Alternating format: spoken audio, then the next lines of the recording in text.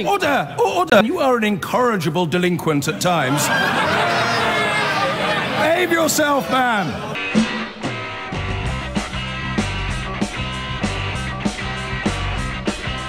I've been going out with a girl. Her name is Julie. But last night she said to me when we were watching. Bob Seely still talking. Uh, the good news is we've got George back, George in Hillingdon. Hello. Hi, Shelagh. Can you hear me a bit better? That's better. That's better. Let's go back to the beginning. You do want this general election. Uh, yeah, yeah, definitely. Um, uh, yeah, a, lo- a lot of uh, well, pe- people that I know, you know, my friends and family, we we all want a general election, not because we all totally agree on everything, um, not not because we all hold the exact same views on everything, but. I think the general feeling across the country, from from in my opinion, is that we need an election now in order to um, make sure that this paralysis ends. And with the Brexit Party, that's who I'm going to be voting for. Um, what upsets me is when people label Brexit Party voters or supporters as far right and um, and you know sort of extreme. I mean, because there's a lot of people that you would probably refer to as left leaning that are also voting for the Brexit Party. I mean. Um, but what a lot of people probably don't know is Bob Crow, uh, leader who was um, uh, RMT union leader. He um, found he was one of the founders of No to EU, Yes to Democracy, um, which was a campaign group. And what he said was that uh, the EU is bad for workers' rights and uh, because of open door immigration and undercutting wages. And I agree with I agree with his point of view, and also the other point of view that it stifles business and the, the, the red tape, the bureaucracy um, is just. But I think the concern, I think you're you're right about Bob Crow. I think the concern that a lot of people have about um, uh, leaving the EU is the sheer scale and size of the market that we are in currently, the, the single market that we are in currently in, in the European Union. It everything else is dwarfed by comparison. Now, there is an argument that the, that the world is changing, that the world of global trade is changing, and we need to be free enough to go and do business elsewhere in the way that we see fit. There's an argument for that, of course, there is. But those, um, but I don't know, perhaps more cautious individuals would say, but look, on our doorstep is a functioning, thriving, huge market that we have anyway. Why would we turn our backs on that? That's, that, in, in a nutshell, I think that's how an awful lot of people feel about why it's, it's a bad idea to leave the EU. No, I, I understand that point of view, but like Nigel Farage said, we can. It's a bit like living on a street. You know, we can still be perfectly good neighbours and cooperate and all trade with each other. I mean, the EU was a great thing when it was about trade, but it's become more and more about closer and closer political integration through the back door, without the consent of individual citizen countries. But trade has always come with politics, hasn't it? It always has. I mean, people used Well, to yeah, people yeah, used to marry yeah. their daughters off to people for, for trade. you know, trade has Yeah. trade has always been a a very human business. You know, it's uh, and and therefore a political business. But, but I, I think that argument has been had. I mean, the reason we had a referendum in the first place was because precisely because we couldn't agree on it. So we then had a referendum, and then in order to make a decision. And now that that decision's been made, it, it feels like And and you know and you say we just have we have to honour the result. you say you're going to vote for the Brexit Party in all likelihood in the general election.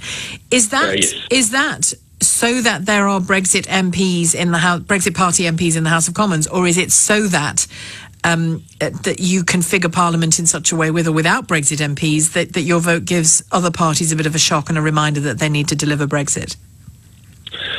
Well, yeah, kind of a bit of both. I mean, I, I want to see people like Nigel Farage and uh, Ben Habib and uh, people that, I, that, in my opinion, have been there and done it in proper jobs, and actually they they understand what is actually going on out there in, in terms of trade, rather than career politicians that are just lecturing everybody without actually really knowing what they're talking about. and I think the, Brexit Party will pull votes from. You know, it's not about left or right. It's Well, about well, although a huge number of the about- business. It's about, it's about forward. It's about hu- going forward. Yes, but a huge number of the business associations, the trade associations in this country uh, are not for Brexit, are they? I mean, they, they mostly say that the, the uncertainty over it is, is, is causing harm, but they're not massively supportive of Brexit in big numbers, are they? I mean, I know what you mean, but some people. I mean, I, I this is you could say this isn't backed up by evidence, and you'd probably be right, but it's a bit of a conspiracy theory. But I think it's because they are work working behind closed doors in order to just that they don't care about small business. I, I think they want to stifle small business and monopolise the market, but like the big corporations. Whereas this the Brexit vote, a bit like with the Trump vote in America, it's people saying actually we want we want to actually be not be ignored anymore and to, to sort of sorry I'm I'm, I'm kind of struggling to No, no, but. I, no. I, th- I think I think you're doing fine in doing that because I think that sense of being ignored um, in, in in many voters' hearts and minds was was key to the Brexit vote. George, great to talk to you. Thank you, uh, Marie in Castleford in West Yorkshire. Hello there. Hello, good afternoon. Thank you for taking my call, Pleasure, Shelagh. pleasure. Um, if I can just say thank you for keeping me company every day as well, Oh. because I'm not well and I'm always in every day, so I listen every day. Well, I'm delighted to be able to help yeah, you're in that great small way. company, so thank you. Good. It's a big part of people like mine's life. Um, so yes, I live in Yvette Cooper's constituency in Castleford, um, and I would love the just some reform round here, just some belief for the local people that change can happen, you know, because the area is so deprived, um, Shelagh, that the um, the all of the people that live here, they, they just we have no swimming pools. All of the towns being closed down, and obviously the elderly people that live here that have relied, you know, for all of their lives on local amenities, they're just all gradually disappearing. And it would just be fabulous for the area to see that we can make a difference, you know, by by a political change. Um, Can I- just can I just- Can I can I come in on that? Yeah. Um, Yes, of course, Although, yeah. although you have a Labour MP, for the past ten years you've had a Conservative government or a Conservative-led government in the coalition. So Labour haven't really had ten years' worth of power um, in Castleford to make the kind of changes that, that you're looking for as a government. I mean, and yet you still you're holding them responsible, are you? Be- because you have a Labour MP. I am, yes. I do fully hold them responsible, yeah, because the things that have happened in the area, Shelagh, um, is down to the Labour MP. You know, for example, we had um, we were trying to stop the A and E department being closed because we have a, a it's a big constituency, Yeah. and it's a very long way to get to a, an A and E with the one clo- that is now being closed. Um, and yeah, I do. I hold a. Cooper responsible. They don't But, even but can I can I just can I just ask you? But can I ask? Oh, okay, but but do you get the fact that she's not in power? she's Yeah, there trying to course I do. represent Castleford and and and speak for constituents like you in Parliament and and to power. But she, her party doesn't have power, isn't in power. No, and I appreciate that, but she's also in a 70% leave constituency, Shelagh. She's not honoured that. You know, the only thing that she's campaigned for is to leave. She doesn't take any notice To remain, of you mean? constituents in the area. You mean to remain? And that's just because it's such a Labour stronghold. She doesn't even have to campaign, you know. She, it's just an automatic election for it. The same as it was for her husband until last time he got a real big shock uh, when did. Ed Balls got when Ed Balls got voted out at Morley, and he was exactly the same um, politician as she is in our area, and it was the biggest shock of his life when a Conservative MP got into Morley and they showed the people of Morley that they could make change. And um, that, Marie, as I recall, that was because a UKIP candidate. Um, No, it's a, W- was as it- far as I'm aware, Shelagh, it's a Conservative candidate that got in in Morley. Yeah, no, but I'm saying, was that not because UKIP waded in and disrupted the vote in some way? I, mi- I might be misremembering that, but but you're absolutely right. It, it was a shock that Ed Balls lost that seat. So are you saying that in this election, do you believe the Conservatives can overturn that majority that, that, that Yvette Cooper has? I do, yeah, I do. I believe that, yeah, I definitely believe that if somebody came to the area and saw just how we have nothing at, at all. I mean, wait for your Council, Shelagh, they, they've even sold all the local car parks off. So in the town centre, even all the car parks have been privatised. Everything, and I'm really sorry. I, I understand what you're saying, but I also travel down south and I see the difference in, in the north and south divide. I'm sure you do as well. I do. And I see. Although, can I just say on that, Marie, that's not absolute either. There's poverty in London and there's poverty in the southeast of England, every bit as much Yeah. as there is in the north. You know, it's it's Yeah. it's differently it's differently spread, but it's definitely there. Yeah. So, listen, if I, I presume then that if you want a Conservative to win in Castleford, you don't want the Brexit Party to be poking its nose in in that constituency no, during the general like election. Either or, yeah, no. Ah, but like if there's both, or, you yeah. see, Marie, if there's both Brexit Party and Conservative Party represented in that constituency, that splits the Leave vote and makes Yvette Cooper's position all the stronger. Oh, of course, yeah. Of course it does, yeah. And if you were, but if they do, and you're making a choice between Brexit Party and Tory Party, what are you going to choose?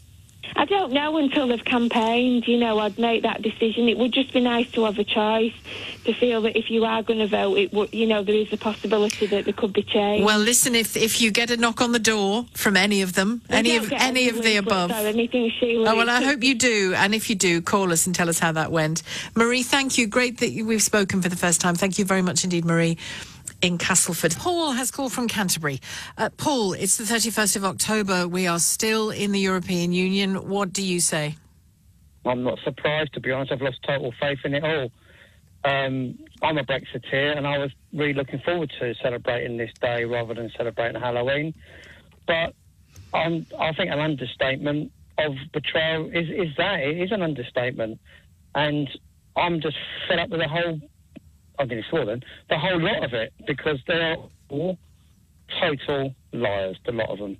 And the only reason why we're in this mess and haven't left today is the like of the Letwin and the Benn Act and all those Remainer MPs that don't want us to leave. And they're all smiling all the way to the bank now, aren't they, really? Because, well, maybe not, because I don't think they're going to get their seats in the general election. And that's now the chance for the, the leaders of this country to vote with their feet and say, enough's enough, and get rid of these people from their seats, and hopefully having an election where Brexit can be seen through. Because it's Well, it's worth it's worth now. reminding ourselves, isn't it? And you know, you, you're absolutely perfectly within your rights, Paul, to feel the way you feel about the, the the state of play on Brexit. Nothing wrong with that.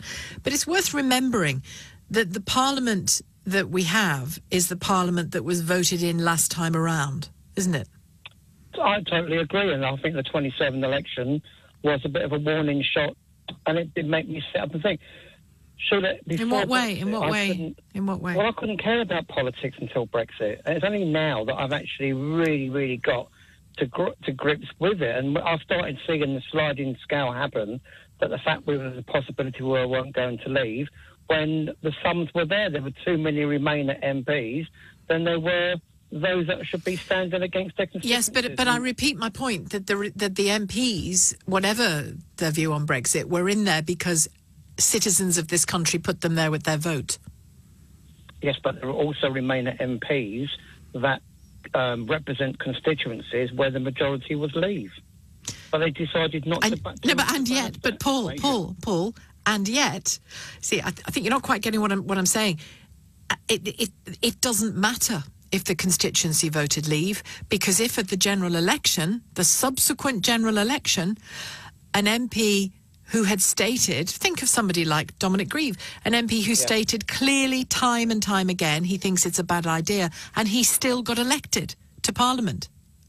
So, so, so take so taking that view back into Parliament and exercising his judgment based on that view is perfectly legitimate.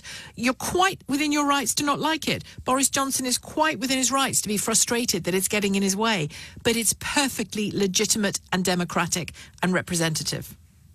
That I, and, I, and, and, I, and yes, I agree with you in that respect, and I think that's why we are in this sorry mess because the, the way our elections are, are, are ran, held, and decided, and having a non-majority government really hasn't helped, and that's why I wish that Mrs May didn't do the you know, didn't do it in that respect because I think if we didn't have that 2017 election, we wouldn't be where we are now. We may have left by now.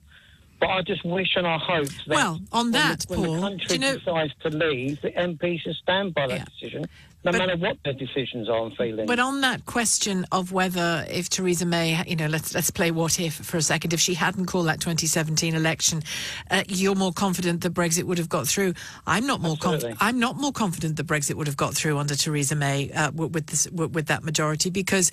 For the, you, I think you're you're forgetting, are you, that at the very beginning, well, for for a big chunk of the three years since the election, si- since the referendum, Brexit is in her own party with the people giving her a kicking more than Remainers. well, she was never a Brexiteer, was she, really, from the beginning? So, what do you want from Brexit? Because Boris Johnson's deal, what do you think it's better than Theresa May's deal? Do you know, I've got to the stage I don't really care. I just want out. come I don't on, care how got- we do it. Well, but the thing is, you know, you said she's not a Brexiter. She delivered a Brexit deal that Boris Johnson and others in the in the party have only recently said is ninety percent the same as theirs. Yeah, but it's like everyone says there was no deal in the referendum. There was no, so there was no no deal in the referendum, but there was also no deal in the referendum. The referendum said leave, and that's what it meant: get out, then deal with it, and that's how we should have done it. All this deal with May and Boris and all this no deal nonsense, it's just euphemisms. It's just words. It's just narratives. They don't mean or hold anything. We should have just turned round on uh, after the day after the referendum and said to uncle whoever, "Thank you very much, nice knowing you, ta and gone." But Paul, you know, you, you've admitted it yourself. You don't care about the detail. The detail matters. It's people's It lives. matter Paul. now. Of course, it, It always mattered. It always mattered. You can't be in a 40 year arrangement, walk out of it, and think that the detail isn't going to bite you on the backside. but we should be having a 40. Uh, I, I get what you're saying, I do. Uh, this is the problem I have with all my friends when we sit and have an argument over a pint of beer over it. you know, my brother's a Remainer and I'm a Brexiteer, and we, we're at each other's throats constantly. Oh, you've got to keep it civil. oh, well, no, uh, oh, you, you- you're about keeping it civil. I mean, I watched something on this morning, or GMB, whatever it's called, and they were saying about MPs feeling threatened and uh, assaulted and shouted at and Yeah. spat at and everything else. Yeah. I don't condone that, but all that is brought upon themselves. No, it's not.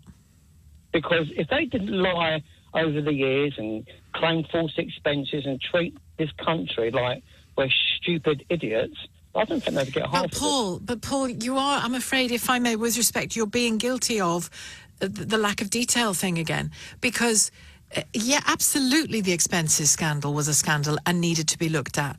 But to, Yeah. but to then switch off your critical faculties and then say it's actually just okay for a woman MP to be terrorised because of that, not knowing A, what her expenses situation was, not knowing whether she's ever lied to you or not, it's just, it's really dangerous, Paul, because the, Yeah, sec- and that's like I because the second. it, but- no, well, you, yes, but you said but, and there can be no but after that.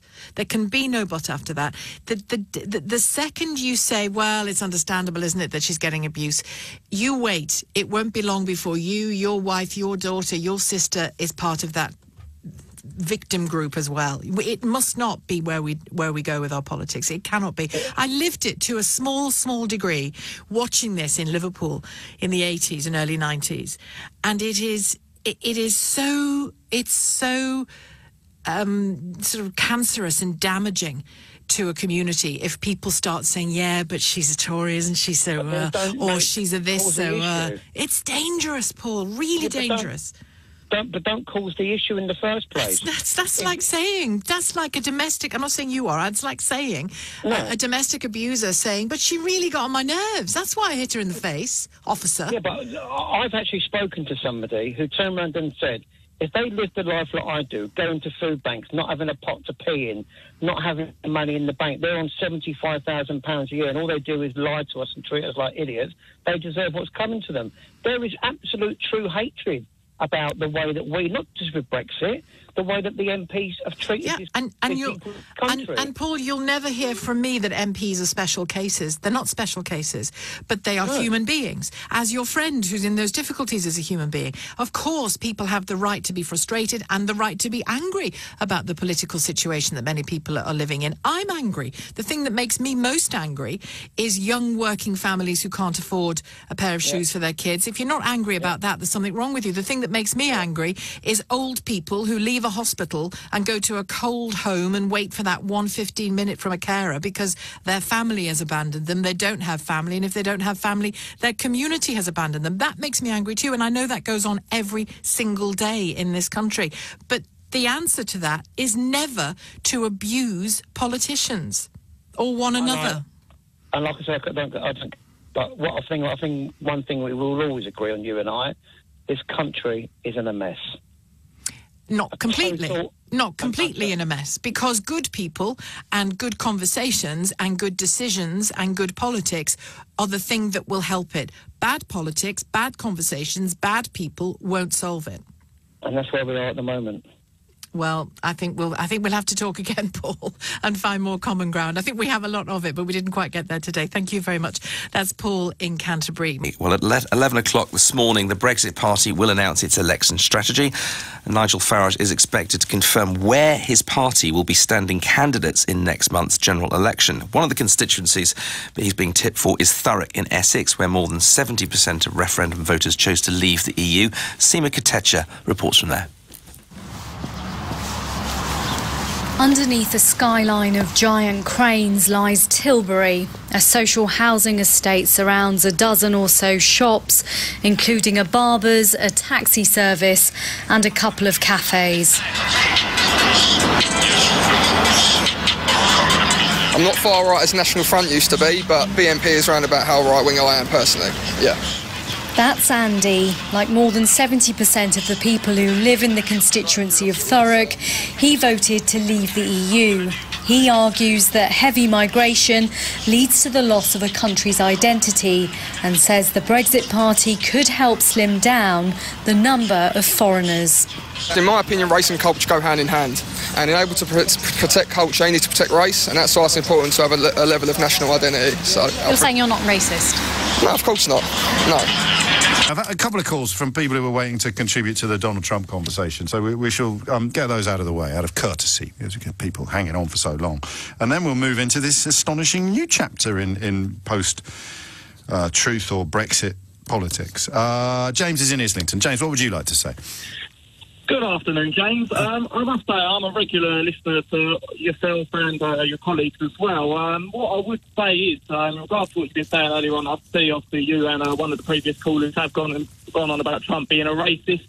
Now I think that it's a bit far fetched. Uh, he, he obviously has come out with things that are very stupid to say. However, what I will say in regards to that is, in regards to ethnic minority employment rate in America, it's at a record low now. So. Um, Yeah, and mate, the, the, the, the racism line is about telling people who were born in America to go back where they came from. So let, us just park I that and move on. appreciate what you're saying. That, Good, um, 'cause- regards 'cause- to actually the, the Trump and Farage interview last night, Yes. I did listen to that, and I was quite impressed with what he had to say. Admittedly, obviously, but you already like him, and you don't think you you already like him, and you don't think he's a racist. Well, I don't think so. I would say race is a bit far fetched. So maybe he's come out with idiotic comments. Or I'd say Yeah, but that. but telling people who were born in America to go back where they came from isn't idiotic or far fetched, my friend. It's racist. No, it's, it's in down to interpretation at the end day. I- No, no, no, it really it's- isn't. it's- No, obviously, we we obviously disagree on this issue. However, the, the point I was going to call to make is um, Let me let, let me guess. Let, let me guess what the point you were going to make was. Ahead. I think it was really bad for Jeremy Corbyn that Donald Trump criticised him, and good for Boris Johnson that he praised him. Well, uh, you know, you hit the nail on the head. I personally do think that is the reason. The best, Go on, then, let me ask you why. Analogy. Well, the reason I think that is purely I live in Islington, which is a very Remain and obviously Jeremy Corbyn. Right, mate, I'm going to have to wait. um, I'm going to have to wait for the biography to, to, to find out more details. Why do you think it was bad for Jeremy Corbyn to be uh, Well- criticised by Donald Trump? Well, the US is our biggest ally. There's no denying that. With the US, The US was our biggest ally when Barack Obama told us not to do Brexit. Did you Oh. did you applaud him? Uh, well, look, uh, obviously not. But however, Oh, why obviously? with Trump, Why obviously Trump not? Coming out, he's, he's, he's promoting a free trade Why deal. obviously not? Well, because uh, personally, I've supported Brexit. I don't. I Oh, so it's got nothing to do with America's status or its relationship with us. So and everything to do with whether or not Donald Trump says something you agree with. But anyway, let's just focus on the central question. I'll remind you what it is. Why do you think it's bad for Corbyn to be criticised by Donald Trump? I personally think it's bad for Corbyn, purely for the fact is that uh, Yes. Trump's come out. He said he wants a, a free trade deal with the United Kingdom, and he has obviously said that with Boris's deal, there may be limitations to how far. Yes, but why is any of this bad trade. for Corbyn? Well, It's bad for Corbyn because Corbyn sat on the fence throughout the entire Brexit process, and he is. But why, he is a why does Donald. Trump criticising Corbyn do damage to Corbyn? Well, because a lot of people, especially well, maybe not in London, but when you leave London, people aren't that keen on Corbyn. Obviously, he's got a lot of. Yeah, but that's not an answer to the question I asked, is it? You're telling me about people who already don't like Corbyn. Why would being criticised by Donald Trump be bad for Jeremy Corbyn?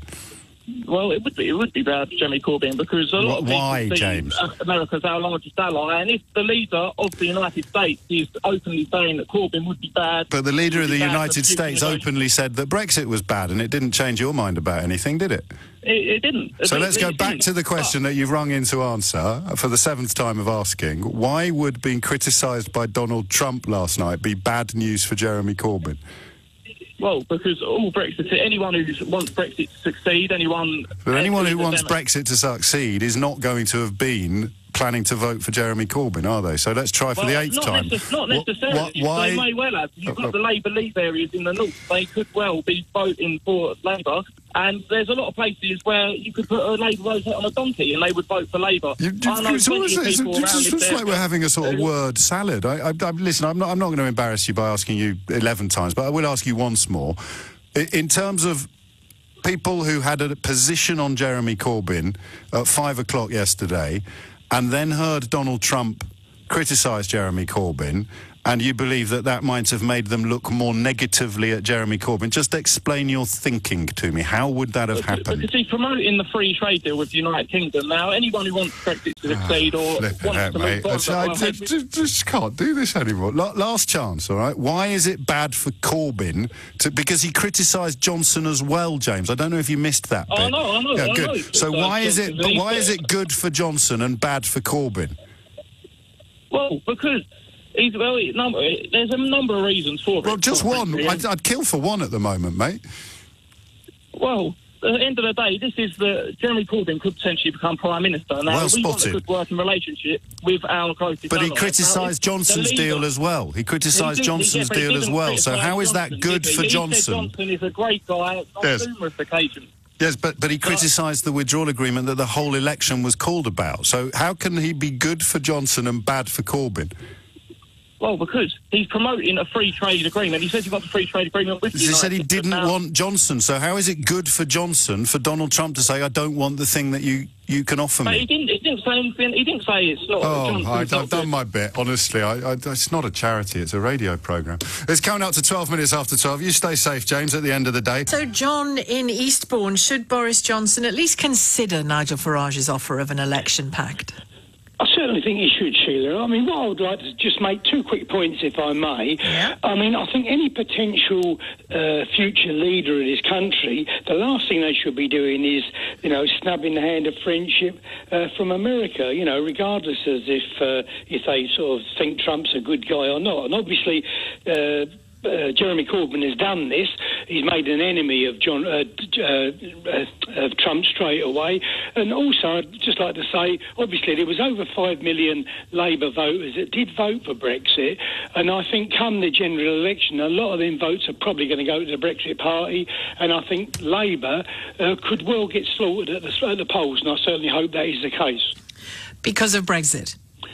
Well, yeah, because of Brexit. Because I, I, I admire people that stick by stick by their guns and say they're going to do what they say they're going to do. And Jeremy Corbyn has totally changed, isn't he? Um, The only reason those five million people voted for Labour uh, was because they thought Jeremy Corbyn was going to see Brexit through, and obviously he snubbed all them people Well, now. you, well hang on, hang on, hang on, hang on, hang on. You just heard from Laura Parker of Momentum that, that that's precisely what they intend to offer and are offering at the general election, which is a Jeremy Corbyn led government goes back to the EU, gets a Brexit deal, comes back to the Commons, and uh, gets it through on the promise of a people's vote attached to it as well.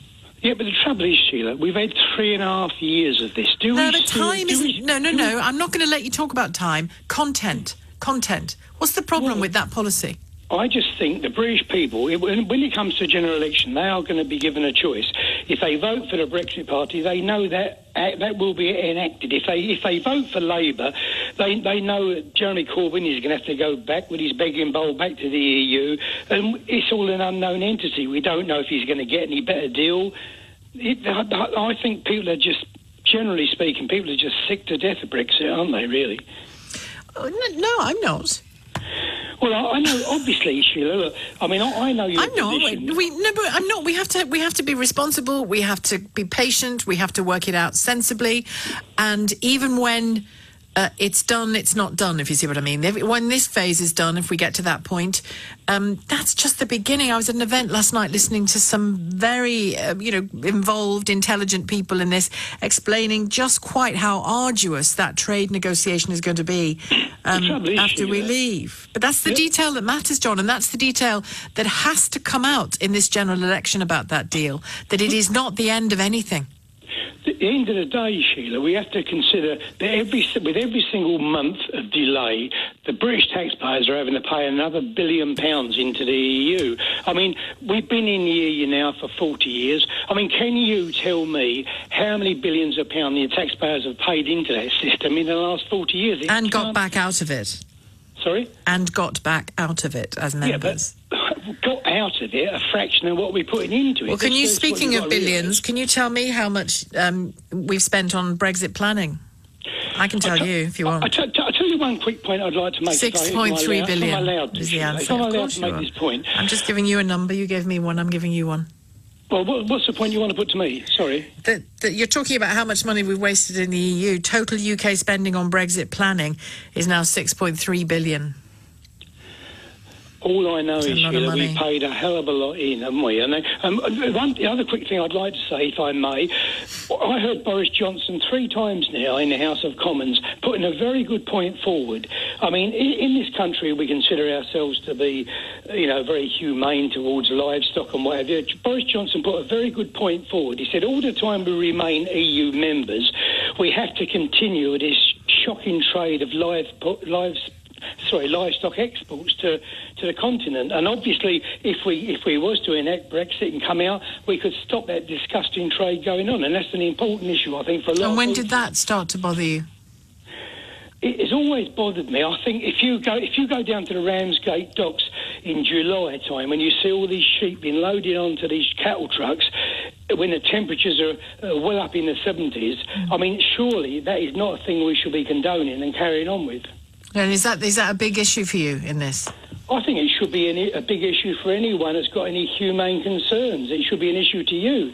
I mean, sure, are, are you happy to see that kind of trade going on every every every day in the summertime? No, I haven't seen it, but no, I'm not happy. No, but there's all kinds of things I'm not happy about in, in, in our politics, and, and we can campaign to change them. And, and you see Brexit as a means of changing that. Well, I certainly do, Shelagh. That's just one topic I've just brought up. I mean, obviously that is one consideration. Surely you should consider. I know it's not the it's not going to be the main issue you want to talk about today, but it is just one of many issues, isn't it? All right, John, thank you for your call. John in Eastbourne, Chris in Crawley. Hi, Chris. Hi, Shelagh. Uh, I'm just ringing to say basically that um, whilst listening to Donald Trump and Nigel Farage yesterday, uh, Donald Trump clearly did say that he probably does think that Jeremy Corbyn is a very nice man, and then went on to attack his ideology. Um, if you notice anything about Trump, he would always do that. He would always praise the man first and then uh, attack the ideology. Unlike the left, who normally will attack Donald Trump on his personality and everything else uh, before attacking his ideology. And I think that's um, a little bit. Um, I think you're being a bit generous to Trump to say that he always does that, Chris. Um, he well, he unless he also attacked himself first. unless he has attacked himself first, and then he will he will attack, as we know, and it's well proven. And um, you know, okay, okay, you give me an example when he attacks people first. I can't off the top of my head. I can I can think of. So, in actual fact, so I do believe that the Labour Party would be uh, far better off by just um, using this as a, just a small news clip and moving on to their own agenda. Which is exactly what they will do. They're only answering questions because we're asking them. Well, I guess they are, but um, you know we can keep making hay of Donald Trump and everything else, but uh, and Boris Johnson thrown into it. But I think Jeremy um, Jeremy Corbyn and the Labour Party should uh, well leave this alone and uh, move on to whatever their agenda is. The, the the interesting thing about what he said about the NHS, though, they can't quite leave alone, can they? Because there will be those who will point to what Donald Trump said. Uh, those in the Conservatives, who they'll say every time Labour says you, you want to sell the NHS off, you want to sell it to America, you want drugs to be more expensive, they'll say, didn't you hear him on LBC saying, I don't know where this came from. I mean, and Labour, if they've got any sense, will counter with, you said it, you said it yourself, standing next to Theresa May. So you know, it, Yeah, it's, yeah. so, so the, the reason I'm focusing on it is it will be used against them. If you if you remember the very original question to Donald Trump uh, uh, by a journalist about the NHS at that conference with Theresa May, um, he just flippantly said, "Yes, the NHS is on the table," and later on admitting that he does, didn't even really know what the NHS was. So I don't know what you have to say about Donald Trump, but. Um, yeah, You say like ignore he him, do you, say Chris? One thing, and everybody else can um, interpret it a different way. You say ignore him, do you? Trump? Yeah, I'm a, I'm a great supporter of Donald Trump, but um, I would say ignore him by and large. Why are you a get on with supporter of his? first. Why are you a supporter of his? Why am I a supporter? Yeah. Oh, Shelagh, you you need another show for that. Well, go on, in a nutshell. G- give me a thumbnail sketch of what's so great about Donald Trump. Okay, uh, from the very beginning, um, I didn't really understand Donald Trump. I thought it was very much a TV show. But the very first week uh, of him coming into power, he signed a very um, strong executive order. Um, on, I do believe it was on the 16th of November, he signed an executive order um, which was seizing the assets of anyone um, dealing with paedophiles, um, you know, human trafficking, all those kind of issues worldwide. I read the uh, executive order. It seemed genuine. It seemed great, uh, and he seemed to have been following following it up. So, um, yeah, there's many many other issues that uh, I like about Trump. Some I don't. Um, his issue with Russia, I don't really like. I prefer that he really does take the initiative. to What do you think his issue with Russia. Russia is? Because um, th- there are those, and I might be one of them, who fears that his issue with Russia is that he's in the White House to do Russia's bidding. Um, I think it's his advisors that have been giving him the wrong uh, advice, like John Bolton, uh, for one, that's been giving him the wrong advice on Russia. Um, and also, I think Erdogan, President Erdogan, has also, uh, you know, we could go on and on, Shelagh, but at the end of the day, we could um, dislike Donald Trump or like Donald Trump. It's, you know, it's the same as like uh, Brexit or not like Brexit. Okay, Chris, thank you. Chris in Crawley. Joe in Houston, in Texas. Hu- Joe, hello. Hi, Shelagh. Yes, hi. Thank you for taking my call. Um, I, I, I disagree with you 100% on everything, but uh, I hope I'm, I'm thankful that you take my call. My Uh, well, pleasure. one of the things, one of the things that I, I like to you touched on it briefly was there's a saying: you don't take a gun to, uh, you don't take a knife to a gunfight. Trump has the biggest gun. The thing is, what will be the relationship, strategic relationship between Jeremy Corbyn and Trump's administration? It is not just Corbyn; it's the whole Labour Party. And somebody might say, "Oh, when he, when Jeremy Corbyn becomes president, he will, uh, you know, the relationship will be better." But if it doesn't, that's a national security risk for the United Kingdom because relationship with America is not just about uh, you know trade. it's about security, especially when it comes to the UK, being that you And guys shall are I tell you what? Shall, shall I tell you what it isn't? Uh, what it also isn't about ever? What Ju- it- just just two men. You know, or a woman and a man, whoever's in power. It's never it's never just about those two individuals. I'm sure who the individuals are matters at a certain level, but in terms of the depth of cooperation, the depth of the relationship, the functioning of the shared security issues, that's at a much deeper level than who happens to have won an election. But but Shelagh, if you uh, if that is what you think, then I'm guessing you haven't really analyzed the how Trump's administration works. I mean, if you listen to the media, you might think he's getting impeached tomorrow, but he's not going to be impeached. The Democrats know it. Everybody in America knows Trump will never be impeached. The Republicans hold the Senate. There, there's no way they're going to vote to impeach Trump. And Trump has 95 percent of the Republican Party. He his his rating is at 95 percent. So if the country is making a decision on, you know, bashing Trump, he's this, he's that, you have to be strategic in how you, you interact with Trump. Okay, Joe, thank you on these comments. Donald. Hello. Oh, hello, Um, Paul. Go on, far away. yeah. Don't mind Uh, me. well, uh, Donald Trump, we all know what a lot of people think about him, and I suppose I, I'm one of them, that he's something of a, how can I put it, not too intelligent person. And that comes across in the way he talks, to be absolutely honest.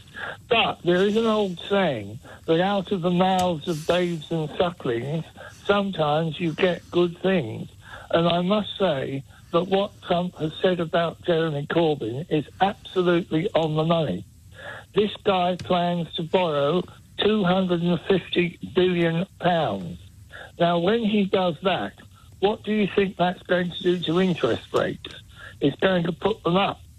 What the Conservatives should be saying, uh, and th- these are all very sophisticated arguments, we need to break this down to something that ordinary people will understand. Here's a slogan Vote Labour, your mortgage will go up. Because believe you me, it will. Um, I'm nearly 70 years old.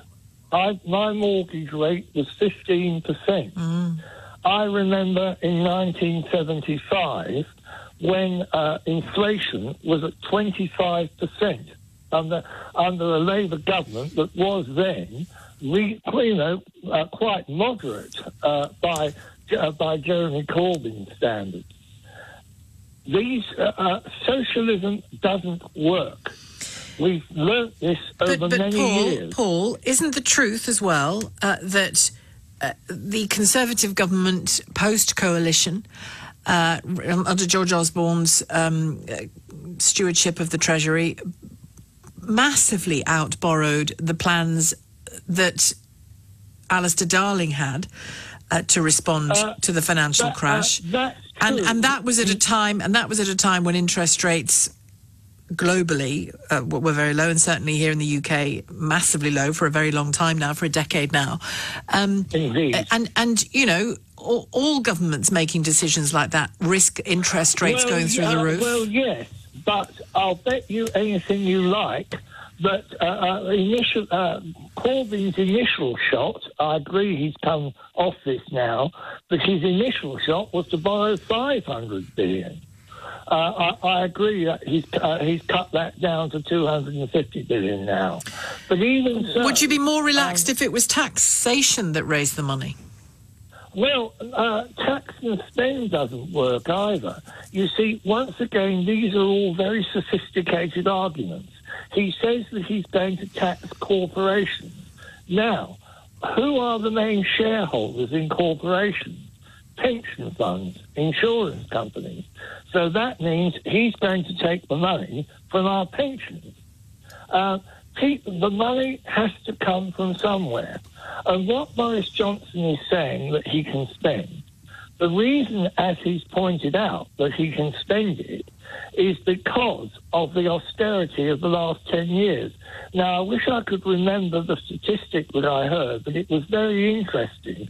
The um, uh, the debt the debt to um, income ratio of this country has come right down. But isn't the, Um, isn't the political truth of all of that, Paul, and there's going to be a reckoning for that political truth in the next six weeks, one way or another, isn't the political truth, it will either have worked for them or not, I mean, it did in 2015, so maybe it will work for them, that they actually uh, brought in the austerity measures um, and the people who most paid the price for those austerity measures were people who probably weren't going to vote Tory anyway, was the calculation. Uh, that might be true, but then I'm taken back to what a minister said in the 1980s, and he's absolutely right that the poor, who we all care about, and don't think that I don't care about people I see sleeping rough on the streets.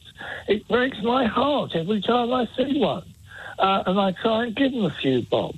You know, um, we all care about them, but the poor are better off under a capitalist system that generates wealth. Before you spend the wealth, you've got to generate it first.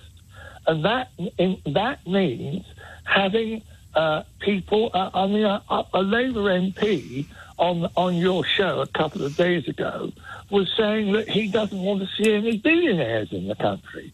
Now, I, I'm no billionaire and I wouldn't even want to be one. But the fact is that people like Rupert Murdoch create wealth. And without wealth creation, you cannot have wealth to spend on taking people off the street. All right, Paul, thank you. Tony has called from Folkestone and Andy in Brentwood to talk about uh, Nigel Farage, Boris Johnson. Uh, who's the other one? Nigel Farage, Boris Johnson. Oh, yeah, Donald Trump. Um, are they a positive change? They're certainly a change. Are they a positive change? Shelagh, Tony. this is Tony. Um, talking about age, the gentleman earlier said he was 72. I'm I'm 80 next year. I was in business, so I've got a little bit of an idea how to run things. And running Britain is running a country, running a business. Uh, we're dealing with three loose cannons here. We've got Boris, uh, Trump, and Nigel Farage. They're the, not the normal politicians that we've used to over the years. Uh, I believe that Mr. Corbyn's out of his depth. When he talks about raising the minimum wage, I was in business to make a profit. I would have to increase prices to be able to pay the minimum wage for those in employment. People unemployed wouldn't get the benefit of the rise in wages. So where Mr Corbyn's coming from, people unemployed would have to pay those higher prices that I would have to impose. Uh, people talk about Mr Trump as being an idiot just because he's not a member of the country club. He can't be that silly to be so rich. What do you mean he's not a member sake. of the country club? He's, I mean, he is, he He is the epitome of club. country club. He spends half He his life in a country flipping club. country club. Exactly. But the mayor's not stupid to be so rich. So when people come onto your program and say he's an idiot, I'll bet he's a lot richer than them for Yeah, being not- so silly. Yeah, it's not all about riches, though, is it? Well, it, success You know, sanity. brings- Yeah, yeah, I, I, I hear you. I hear wealth. you. I hear you. But we're talking about something a lot more than anyone's financial success, and certainly his financial success. We're talking about what they are doing to. Uh, to politics and, and what they are part of in politics, which is this post financial crash tsunami of um, uh, populism, um, often but not exclusively led by men of a particular kind of character type, it seems to me. I mean, we'll throw um, Marine Le Pen in the mix as well. Um, Yeah. they, they, but, but she was around before they really took, uh, t- took hold of things. She inherited things from her father in France, didn't she, Jean Marie Le Pen? But, Sure. but what, d- d- fundamentally, do you think this is a positive sweep in our political history or a negative and dangerous one? I think we're living in a different world. When Mr. Trump puts his nose into our business, that's a un- very unusual thing. It wouldn't have happened years ago. It just would not have happened. And this is why I started my conversation with you by saying that we've got three loose cannons. they're dealing with with the public in a different way. And when you get Jo Swinson talking about not coming out of uh, the EU and staying in, diplomacy for God's sake, we voted to come out. No, but she's Are they treating us like morons to, to No. say, I'm No, going to no, keep us in? No, no, no. She is saying if in the general election, and again, this is unlikely, but hey, who knows? If in the general election the Lib Dems have a majority, you know, Tony, I know that would be a political earthquake bar none in this country. Of course, if of she, course. if she got that, having campaigned, her party having campaigned for six weeks to revoke if they get the mandate to revoke, if they get that mandate, that's a legitimate mandate. Of course, of course. So it's not that crazy, is it? She's just saying what Well, she what- believes in. Yeah, but what is crazy is if the diplomatic vote was to come out, and she is standing there saying, "My view is that we stay in," that's going against public opinion. No, I'm sorry, but after an earth-shattering, changing um, general election, which absolutely trumps a referendum, if you'll pardon the pun, it trumps a referendum, um, then she would have every right to do what she said she would do, campaigning for six weeks to do it and then overturning British politics like nobody ever has. I mean, I don't think this is going to happen, but you know, she would ha- that that would be a democratic mandate without a doubt. Well, my, you know, perhaps I'm getting silly in my old age, but when we talk about diplomacy, and the referendum said the decision. Demo- you mean democracy, do you, Tony? democracy yeah, democracy. said that we, we we we come out of the EU. For God's sake, let's come out. You know, I, I hear you. I hear you. But a couple of things. We haven't yet. And the Prime Minister. No. let, let me finish. The Prime Minister, Boris Johnson, got a positive vote in the House of Commons for his Brexit deal. And then he pushed for a general election instead. So here we are. We have a general election. If Yeah. the result of that general election upends or Brexit or changes the nature of Brexit, tough. There's been a general election. That's what he wants it for. What he wants it for is to give himself the votes to be able to carry it through, isn't it? Yeah, yeah. And if at the end of it he gets that, on he goes. He carries it through. If at the end of that he doesn't, yes. no. But if if at the end of that he doesn't, then the UK has democratically sent him a message that it wants something else. Yes, I totally agree with that. But so it's, so moment, it's still it democratic. It's all still democratic. Yeah, yeah. It's up and down to me. I'm getting old. old and silly. No, God's you're sake. not. You're not old. Also, well, you, I, I can't comment on your age, but you're not silly. Um, and and Tony, do you when you say they're all unpredictable characters, and do, do you admire any of those traits? Do you admire the the kind of simple certainty that they like to offer, whether it's true or not? I mean, Boris Johnson keeps saying, "Let's get Brexit done." Brexit isn't going to be done for a decade. But it's um, Corbyn that stood in the way of the vote going through in respect of Boris getting us out by October the 31st. Well, October, you- you've got no, it's Cor- not. That's nonsense. It's nonsense. Well, I think I think a lot of it is that. That's personally. nonsense because the the thirty first was never important if there was a real Brexit deal on the table. Boris Johnson insisted that there was and tried to get Parliament to. Uh, well, he didn't want them to scrutinise the bill. Uh, We'll do that instead during the election campaign. See see how that fares. But he didn't. Also, he didn't want it properly scrutinised. Shelagh, the truth will come out in respect of the terms of of the uh, leaving Of the deal. of the deal. The Well, truth will come to, out. it We we will know more as members of the public than we knew when we decided we want to come wanted to come out. And and it won't be elected members of parliament finding out for you. It will be journalists finding out for Yes, you because Donald, not Donald Trump, Freudian slip, because Boris Johnson didn't want it scrutinised properly in parliament. Well, that's a, that's a very good point. Tony, thank you. Good to talk to you. Tony in Folkestone, thank you very much indeed. How do you reach 80 without realising that wealth does not equival, equal intelligence, says Jack? Lydia is in East Linton. Hi, Lydia. What do you think of a Leave Alliance? I think that's a, such a good idea. It, it would be amazing if um, Boris could say yes to Nigel. I think Nigel is being very kind, offering um, uh, an olive branch to Boris. Uh, we all want to um, have Brexit done, but the real Brexit that the people voted for, uh, and so many people, it was the biggest uh, vote in history. So many people with very good faith went to vote. Hmm. But Lydia, we, we, we can't say. we, we, we're being betrayed. But Lydia, we can't say from, from the numbers, can we, um, which kind of Brexit people voted for? Because we know, don't we, that, that people one voted for. Well, The there is for you, Lydia.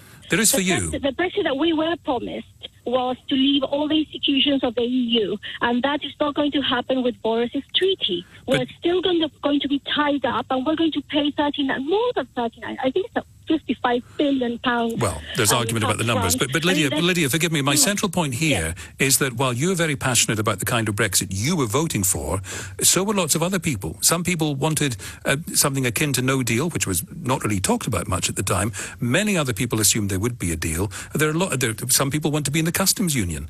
Some people still The want to be in the single market. the- well, the- those people who want to remain in the customs union are obviously remain. And I don't think they would have voted to leave. Well, well, Because some some people did, Lydia, and and I, I wonder whether this fact, and I, I suggest to you it is a fact that there are lots of different ideas about what sort of Brexit people voted for. I Does it not mean? one let me let me ask the question, Lydia, if you'd be so Mhm, kind. yes. Um, should we not have a referendum? I don't think so. I think that would be very dangerous for our democracy. Democracy means when a vote happens, it has to be implemented let's implement a real Brexit first. Then we can have another referendum in 40 years' time. Like we had to wait since 1973, over 40 years for this. Lydia, thank you. I know he's a moron. Gordon is a moron.